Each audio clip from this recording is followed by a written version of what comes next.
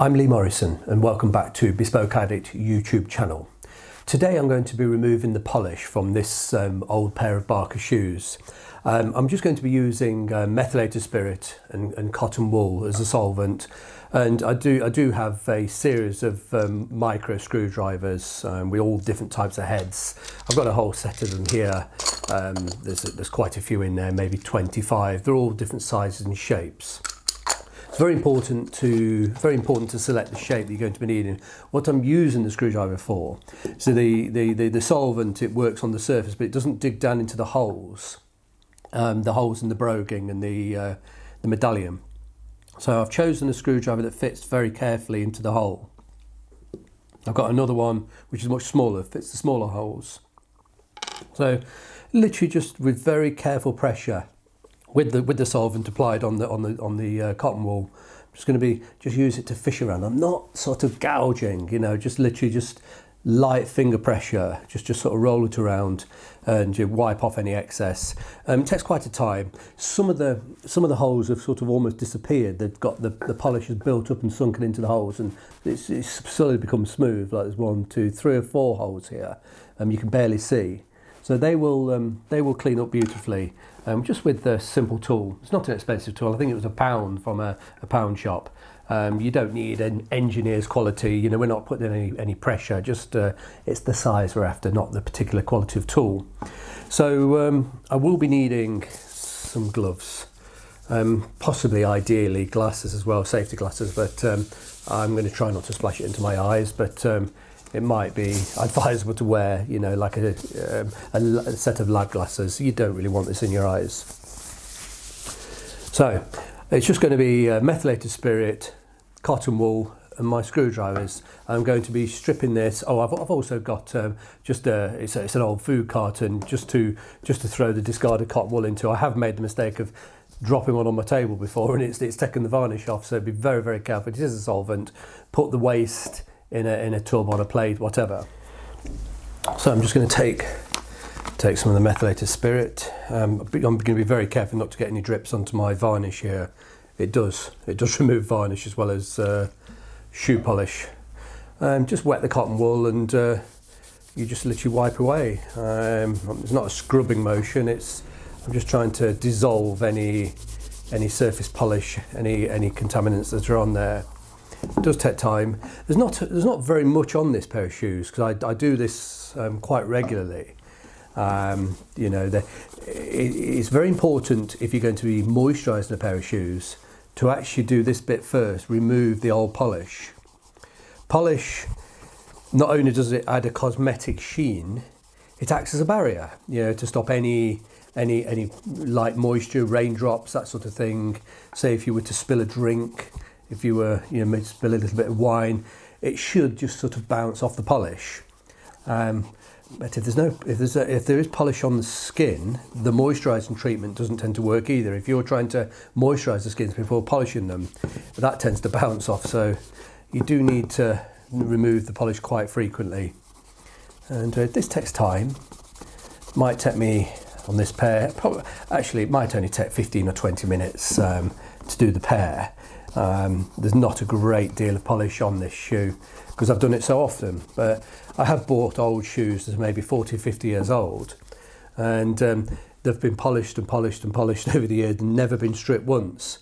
And um, it's like um, it's like thick varnish. It's um, it's quite unbelievable, and the polish itself really cracks, and particularly on the areas where the shoe flexes, and it looks like the leather itself is horrendously cracked and in more cases than not, the um, once the polish is stripped away, the leather underneath is in gorgeous condition and uh, might only have just the minor cracks, very minor cracks. I bought a beautiful pair not so long ago that were advertised as being extremely cracked, and I was confident it was just the polish that was cracked.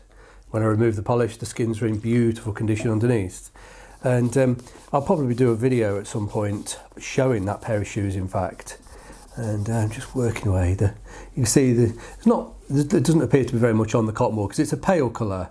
And if this were brown or black, I'd be, it'd be really building up on this cotton wool and I'd be constantly throwing it away and changing it. So just rubbing away, rubbing away. Uh, the first the first um, application sort of softens the surface. It does dry quite quickly, so you have to keep keep reapplying. But it doesn't come off in one go. You know, I've just done this, and the surface has been softened slightly, and I just keep, and I can feel it. It, it kind of starts to drag. It softens, and it, you can feel you feel the cotton wool starts to drag. And that's as it's pulling off the the residue of the old polish. Um, so yeah, you do this more as much by feel as uh, as by vision. You can't see through the wet the wet surface there. But um, it's uh, it is a solvent. It's not great for the skin. Um, but skin's uh, remarkable stuff. It survives all sorts of uh, abuse. I always consider to myself, you know, what would have happened to a shoe well, not the shoe, but the leather skin before it was made into a shoe. What you know, what happened to it in the tanning process, and that is absolutely brutal process.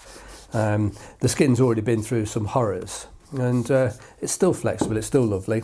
This might make them a little bit dry, but if we remove the surface of the, the, the shine and the polish, we can get to that surface and uh, treat it with moisturiser. If we don't remove the sheen surface, the moisturiser won't sink in. Um, we can't really treat the skin. I'm going to change that now, put it in my little pot, go for a fresh bit. Being very careful not to spill any drips my varnish. Don't want to upset the varnish on my table here. It's just, just a case of keep going, rubbing and rubbing. I say it's, it's going to take several minutes per shoe. But um, because they're quite a modern shoe, as I say, I've, I've treated them many times. I probably I've probably stripped these back ten times in the six or seven years that I've owned them. Um, yeah, just remove the uh, remove the polish, start again. So you can see there's a there's a minor minor cut there. It, when I, I wet it, it goes quite dark. Um, once the polish is removed, we'll be able to uh, we'll be able to come back and get that cut out with abrasive paper.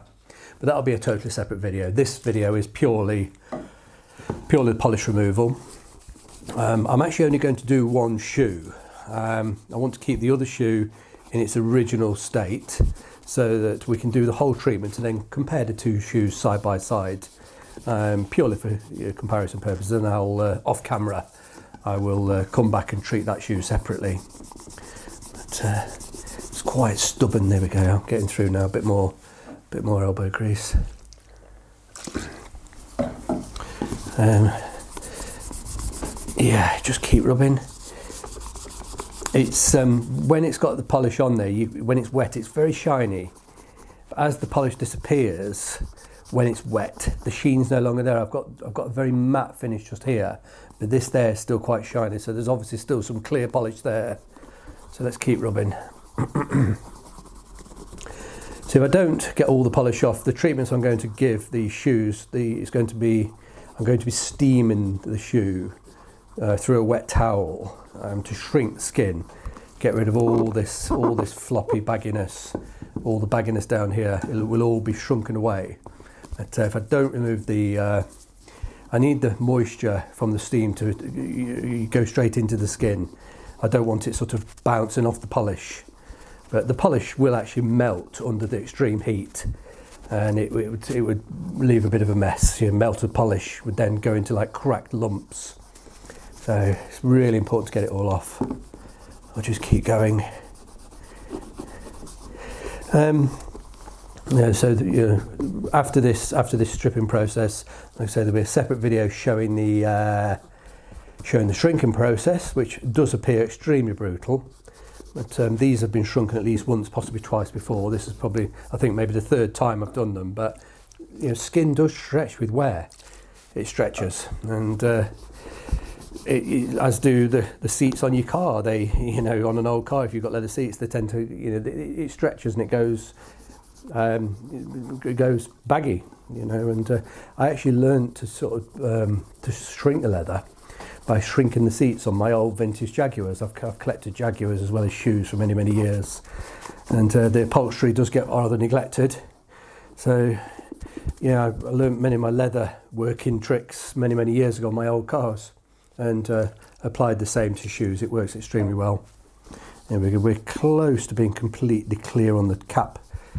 Um, it's more obvious if the shoe's darker, to be honest with you. You know, if it, if it's brown or black, maybe even red, who knows. But uh, now, when this shoe dries, it'll have a, a very grey, dull, won't look uh, very attractive. But at least we'll be able to see exactly where we are the skin, exactly what uh, areas of the skin need treating, that need the cracks and the scratches removing. And if we've got any, if I've missed any of the areas of um, of polish, they will still still be slightly shiny amongst all the mottled grey. So let me just keep going. I've probably been going six or seven minutes now, but uh, it does take time. On a really really old pair where I've bought uh, shoes from the 1920s and 1930s, polish in those days was more like a bitumen, um, and it, it it's ever so strange as you're rubbing it. Say if you rub in the black, and it comes off almost like a like a green type of colour on the on the pad, and it really does take an age because it's kind of a, a bitumen. It goes hard and very flaky, very dry. It has to be removed. You can't polish over that dried surface. It just all you're doing is polishing the polish. You're not polishing the the shoe beneath. And um, if it's cracked, you know, more the more polish you apply, it just highlights those cracks all the more. So it's very very important to, just to be brave, bite the bullet, and give it this treatment I'm giving it.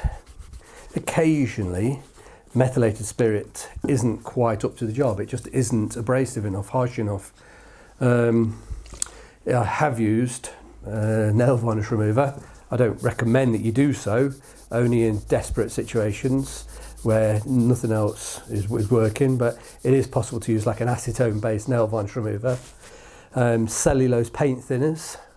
Once again, you know, you wouldn't you wouldn't use that for just removing regular polish. But say if you've got severe stains on the shoe that need to come out, or if the shoe's extremely old, say more than 50 or 60 years old, and it's got uh, a different, I'm going to use a different pad now, if it's got a different type of polish on it um, that we know as a modern polish, if it's different to that, it often doesn't uh, dissolve under the methylated spirit. So you do have to use more abrasive techniques, more, much harsher solvents, but that's quite rare. But uh, I'll probably, in fact, I definitely have two or three extremely old 1920s or 1930s bespoke shoes with this polish still in place, and I'll make a separate video. Now that does take time. It can take 10 or 12 hours to dissolve that polish, um, even with an extremely harsh chemical. The methylated spirit just doesn't really touch it at all.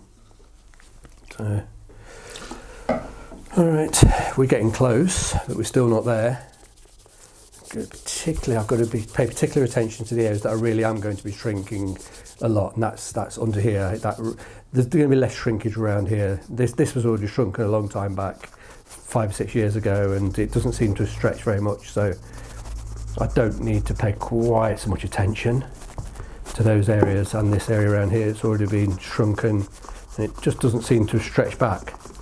So not too worried about that keep going. Let's give this a bit more.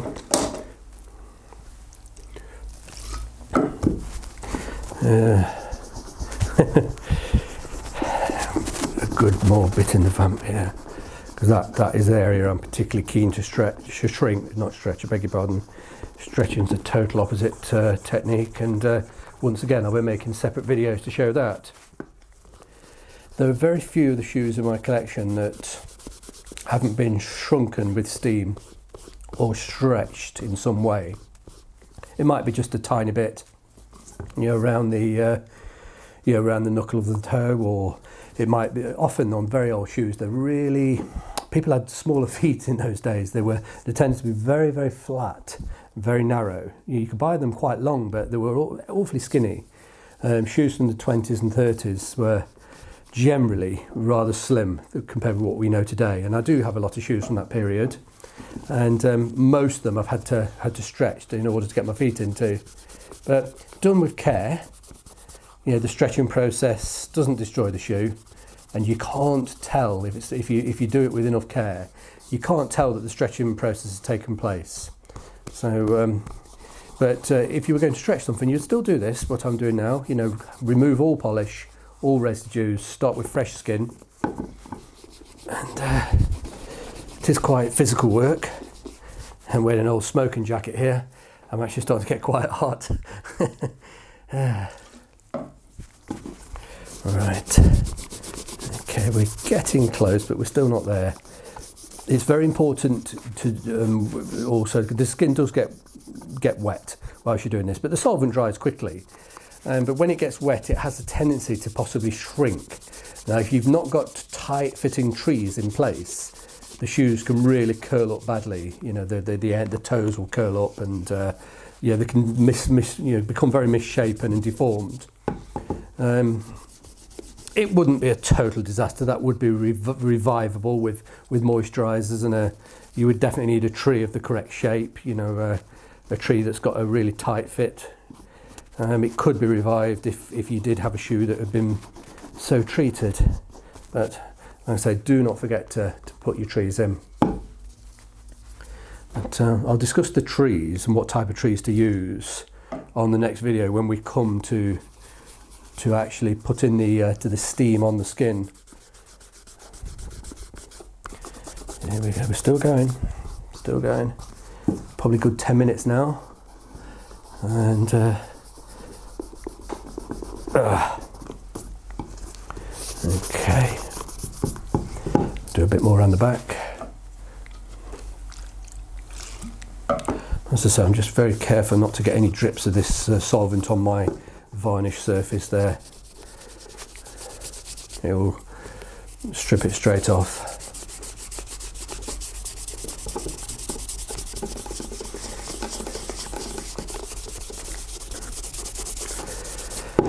Say, you know, using the solvent like this on the skin, it does leave it a little dry. Um, but I don't find it it's a problem. Um, it's a necessary evil.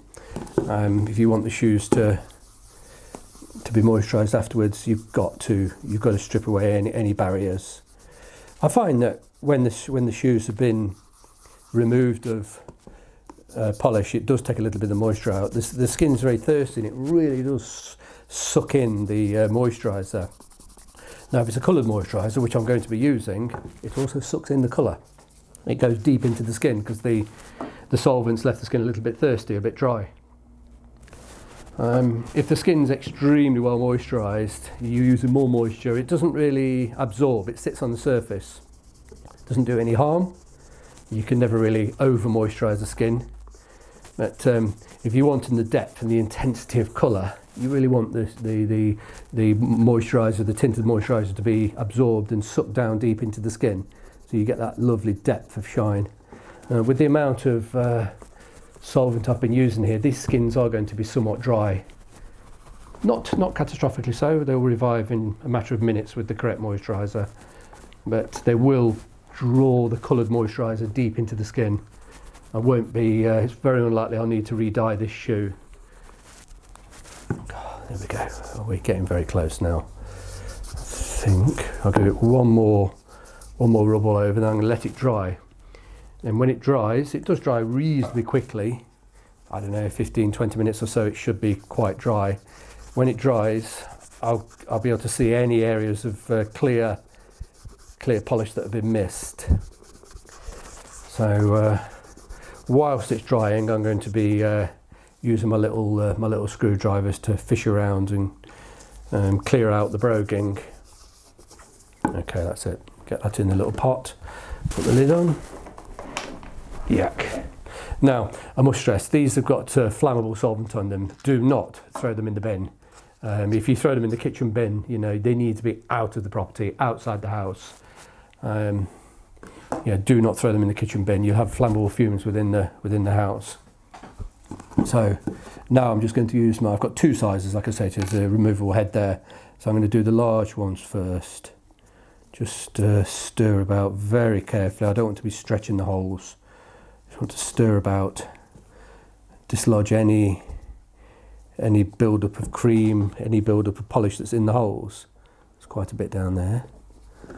And in the edge here is quite a bit. Let's get a bit of uh, wipe off the excess. So I'll do all all the holes.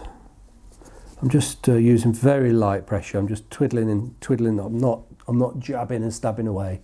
I'm using very very light pressure it's quite soft now because it's uh, it's had the uh, it's had the solvent sink in there. But obviously, of course, the cotton wool can't get down into the holes.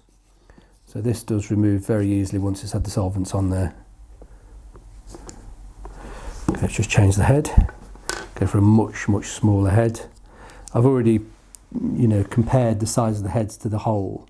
Um, you know, I've selected very carefully so I don't end up stretching the stretching the holes any any any any any, any way. Um, just to keep wiping wiping the excess off. It comes off on the screwdriver. But, uh, this is quite important. You know, the, the broguing is part of the uh, beauty of the shoe, and it does slowly get hidden by by layers of polish. So, I've had shoes that I bought second hand and I didn't even realise that there was broguing on the skin. There was that much polish over the years.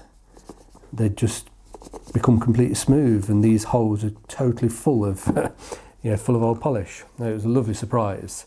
To, in fact, it was on an old pair of John Lobbs. They were all brogued around here. And when I bought them, I didn't realise there was any broguing, any pattern work. And I think the person that sold them to me didn't realise. It was just completely, totally hidden by uh, layer upon layer of old polish. Oof, it makes my skin itch a little bit. This, um, the vapours from this solvent. It's clearly not very good for me, but yeah, I don't do it every day. Yep. Yeah. Give a bit of a rub.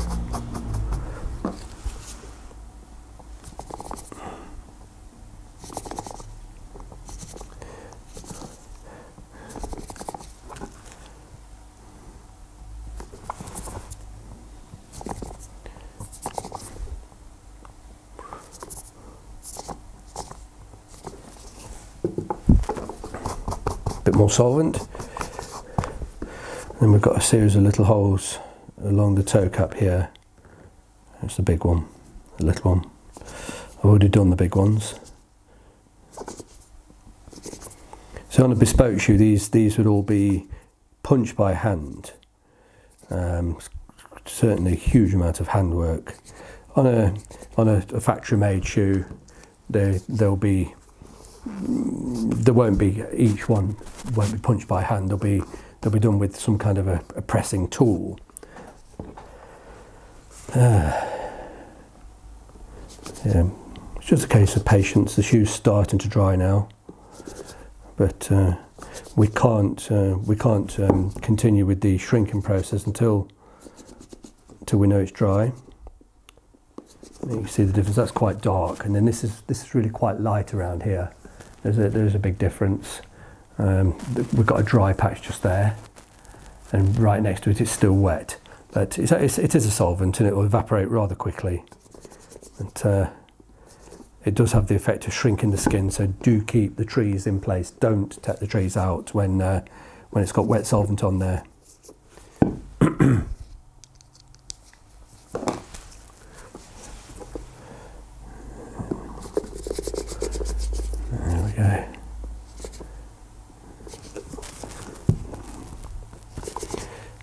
On this bit I'm doing, I'm just doing the small holes, I haven't done the big ones yet. I'll come back to those. And uh, applying very little pressure, just, just, I don't want to be scratching and digging into the skin, I'm just trying to fish out the, the, the, the polish which has already been softened by the, the, the, the solvent we used a few minutes ago. Right, let's, uh, let's do these up here just I'm only doing every other hole. You know, the, the, the, we've got a large one, a small one, large and small. I'm doing all the small ones first, and I will change the tip, go back and do all the large in a, in a few seconds. And that's really full of polish. That hole there. Gosh. Right. Last little run.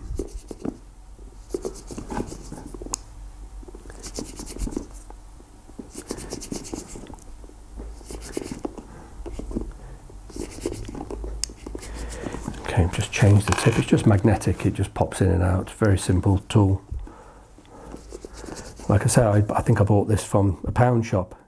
Um, it's definitely not a, a, quality tool, but it's just the size that I was after. The, the, the, all the various pieces there's dozens of different sizes and shapes and because uh, you choose the wrong size you're going to stretch these holes uh, it's perfectly uh, strong enough to do you're just fishing off a bit of old polish. I, I suspect the tool isn't of a quality that you could uh, repair a clock or something. It's, uh, it's definitely not an engineering quality tool.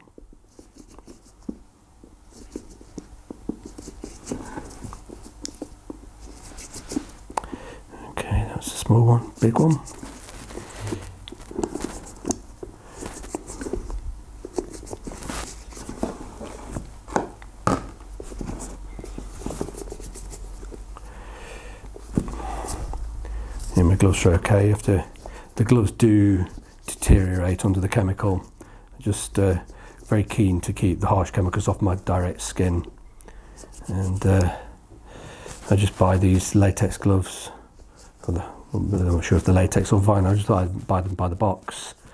I get for an awful lot. I always wear them when I'm doing any treatment and uh, any polishing. I don't want my fingers all caked up with uh, shoe polish.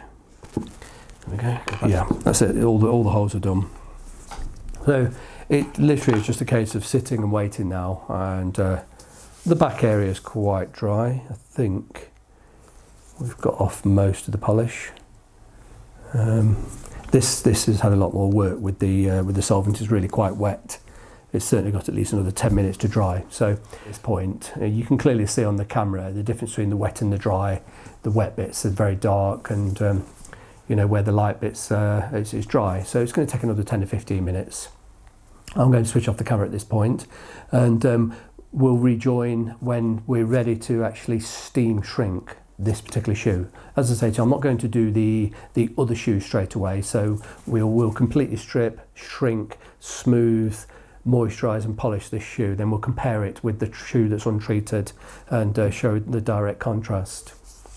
Um, if this if this video has been helpful, then please please give it a thumbs up, and uh, it'd be um, be lovely if you were to follow and uh, subscribe, and uh, you'll get all of the uh, all of the videos that are going to be up and coming. So next time you see this shoe, we'll completely dry and we'll be ready for the um, the shrinking process. I'm Lee Morrison, and this is uh, Bespoke Addict, a YouTube channel. Thank you for joining us.